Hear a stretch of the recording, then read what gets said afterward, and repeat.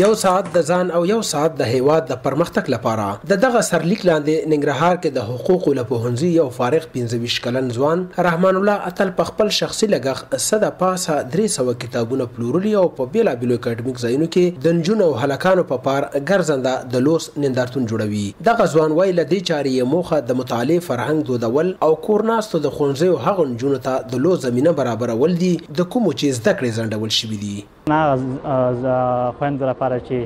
زده کړې ځنډول شوي دي هغو لپاره یو ښه فرصت دی چې دغسې دغه برنامو کې